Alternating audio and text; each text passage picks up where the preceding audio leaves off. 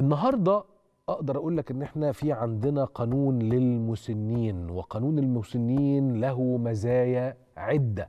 ودي حاجة مهمة جدا. طب إحنا عايزين نعرف هذه المزايا. خلونا ناخد معانا على التليفون سيادة النائب أحمد فتحي وكيل لجنة التضامن بمجلس النواب عن تنسيقية شباب الأحزاب والسياسيين. الخط قطع لكن هنعود مرة تانية لصديقي العزيز سيادة النائب أحمد فتحي. يكلمنا أكتر على مزايا هذا القانون. إلى أن نعو- نعاود الاتصال خليني هرجعك على مسألة الأداء بتاع مناسك العمرة بإذن الله سبحانه وتعالى. كويس جدا القرارات اللي تم اتخاذها من قبل الداخلية السعودية زي ما قال لنا الأستاذ عادل وكويس جدا كمان مسألة التطبيق اللي بيسمح ليك إنك أنت تختار اليوم والساعة اللي أنت هتتحرك فيهم تروح لأداء هذه الشعيرة المباركة. ربنا يكتبها لنا جميعا. سيادة النائب أحمد فتحي وكيل لجنة التضامن بمجلس النواب وعضو تنسيقية شباب الأحزاب والسياسيين منور ورمضان كريم. الله أكرم عليك صديقي العزيز آه، سيادة النائب يوسف الحسيني وعلى. السادة المشاهدين كل سنة وأنتم طيبين. وانت بالصحة والسلامة يا سيادة النائب. قول لنا مزايا قانون حقوق المسنين وهذا أمر نعلم أنه عظيم. أنا عايز أقول لحضرتك إن إحنا قعدنا دور انعقاد الأول بالكامل لمشروع القانون اللي تقدم به السيد النائب المحترم عبد الهادي بيه القصبي رئيس لجنه التضامن الاجتماعي. طبعا. وقعدنا نشوف إيه المزايا اللي كان بيقدمها القانون وبعديها بفترة تقدمت الحكومة آه، بمشروع قانون لحقوق المسنين. في مزايا آه، أخرى عن القانون اللي اتقدم من قبل النائب عبد الهادي القصبي. وبعد كده راح اتناقش في مجلس الشيوخ زودوا فيه حاجات تانية. وحاليا دلوقتي إحنا شغال رجع لنا تاني عشان يتم الموافقة النهائية من قبل الجلسه العامة في مجلس النواب. وعايز أقول لحضرتك ليه أنا بحكي ده؟ عشان كل يعني آه، آه، مشروع قانون بيتقدم بيبقى فيه ميزة بيتمتع بيها السادة كبار المسنين. ولما جالنا في الفترة اللي فاتت إحنا عملنا جلسات حوار مجتمعي. فنزلنا في أكتر من قهوة شعبية ونزلنا في أكتر من نادي. عشان نسأل السادة كبار السن هل القانون اللي جالنا من مجلس الشيوخ ده هل حضراتكم يعني ده المزايا دي فعلا أنتوا هتقدروا تتمتعوا بيها؟ ولا حضراتكم عايزين مزايا أخرى؟ لقينا في الدستور آه، حضرتك إن مادة رقم 83 آه، ودي مادة مهمة جدا إن آه، إن هي تلتزم الدولة آه، بضمان حقوق المسنين صحيا واقتصاديا واجتماعيا وثقافيا وترفيهيا وتوفر لهم معاش مناسب عشان يقدر يكفل لهم حياة كريمة. الكلام ده لما ترجمناه في القانون إيه اللي حصل ودي كانت أكتر كلمة أستاذ يوسف كانت كل الناس بتقولها إحنا محتاجين آه، صحة جيدة إحنا محتاجين تأمين صحي شامل فالقانون بيضمن ليهم حاليا دلوقتي إن بيبقى فيه تأمين آه، صحي للساده كبار السن. فرق القانون بين حاجتين مهمين جدا ما بين المسن والمسن الأولى بالرعاية عشان الساده المشاهدين الكرام آه، يعني لما يسمعوا يعرفوا السن بيبدأ من كام سنة؟ بيبدأ من 65 سنة.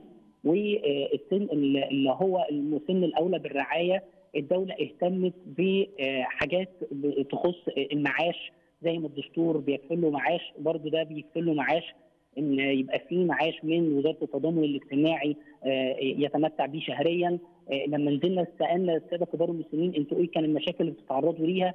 قال لك لما كنا بنروح لأي وزارة خدمية أو لأي بنك أو لأي حاجة بتقدر تخدم السادة كبار السن للأسف كان بيبقى في طوابير كتيرة جدا الناس. بتقف بالساعتين والثلاثه بقى في شباك مخصص للسادة كبار المسنين إن هو يقدروا يتمتعوا بالخدمات اللي هم محتاجينها سواء من البنوك في شركات القطاع الخاص أو من آه، الحكومة والوزارات الخدمية بيكفل القانون برضو ليهم حاجة مهمة جدا ودي لما كنا بنتكلم فيها مع السادة كبار المسنين آه، كان حاجة اسمها رفيق المسن دلوقتي الدولة اتجاهها كله إن آه تقدر تروح آه، آه، دار من المسنين بس في ناس بتقول لك لا والله أنا عايز الخدمة تقدر تتقدم لي في البيت فوزاره التضامن الاجتماعي دلوقتي بتدرب آه، شباب الشباب دول هيبقوا اسمهم رفيق المسن وفي اللائحة التنفيذية حاطين الشروط بتاعتهم وإيه المهام الوظيفية بتاعتهم وده المسمى إن أي حد عايز حد يقدر يساعده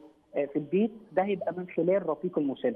طيب الحاجات الثانية المهمة أنا لو أنا خلاص يعني ما عنديش منزل متوفر لي كحد من كبار السن وعايز آه، دار من الدارات عايز أقول لحضرتك يوسف إن دلوقتي عندنا 169 دار على مستوى جمهورية مصر العربية بيخدموا دور المسنين. ولما عملنا جلسات الحوار المجتمعي كانت أكتر كلمة الناس بتقولها يعني حاولوا تحننوا قلوب ولادنا علينا. طبعا. آه، طب ده هيجي من خلال برضه في قانون العقوبات برضه حاطين أكتر من مادة عشان نقدر نشتغل على فكرة إن لو لا قدر الله حد بيستغل والده أو بيستغل والدته آه، ويوديها دار عشان خاطر آه، بقى قصة ميراث والحاجات للأسف اللي بتحصل في المجتمع. فبيبقى حاطين لها آه، حاجة طبعا مادة رادعة عشان نقدر نقول إحنا الدولة بتحمي حقوق المسنين اللي أكتر. من ده كمان عايز أقول لحضرتك ودي نقطة مهمة جدا. أرجوك. كانت الناس بتتخوف من إن أنا أفتح دار بسبب الضرائب اللي بتدفع فالقانون بيعفي لو أي حد عايز آه، يقدر يفتح دار دلوقتي بمجرد ما بيقدم أوراقه لوزارة التضامن الاجتماعي. فالدولة بتشجع الناس اللي هي لو عايز تفتح دار تبقى تحت مظلة وزارة التضامن الاجتماعي. وكمان لما هيقدر يفتح دار لو المسن الأولى بالرعاية مش قادر يتكفل بمصاريف الدار الدولة هي اللي هتتحمل المصاريف كاملة. وكمان ال- البند المهم اللي اتحط في القانون. ان إحنا بنجبر ال- ال- ال- ال- المسن اللي هو يفضل مستمر في الدار لا دي حسب احتياجه ان هو قاعد مستريح شايف خدمة آه، محترمة بتتقدم له طب ده. هيحصل إزاي؟ ده دورنا آه، إحنا الرقابي ان لما ننزل لاكثر من دار ونشوف الخدمات اللي بتقدم عاملة إزاي. وده الحمد لله في تعاون مثمر ما بين السلطة التشريعيه والسلطة التنفيذية الممثلة في وزارة التضامن الاجتماعي. لما نزلنا وشفنا أكثر من ملاحظات لقينا حاجات محترمة جدا فقلنا لوزارة التضامن الاجتماعي شكرا إن أنت عندك أكثر من والله اللي بتقوله ده بطريقة كويسة. وللأسف لما نلاقي حاجات يعني في إهمال أو في تأثير وزارة التضامن بتتدخل على الفور. هيتم استخدام بالظبط كده يعني في هيحصل في إجراء رادع مما لا شك فيه. سيادة النائب أحمد فتحي أنا بجد بشكرك وبشكركم جميعا كل من عمل على هذا القانون. أنا بشكرك جدا سيادة النائب أحمد فتحي وكيل لجنة التضامن بمجلس النواب عن تنسيقية شباب الأحزاب والسياسيين. عند صدور اللائحة التنفيذية لهذا القانون وتطبيقه بشكل عملي وفاعل أنا بقول لك ده حاجة تكاد تكون أفضل مش هقول لك أفضل تكاد تكون أفضل مما يحدث في المملكة المتحدة بريطانيا. ومعروف إن بريطانيا من الدول اللي بتهتم جدا بحقوق المسنين في آه، آه، آه، أنحاء المملكة كذا الحال في شمال أوروبا القانون ده لو طلع لائحته التنفيذية وبدأنا التطبيق ده هيبقى حاجة عشرة على عشرة.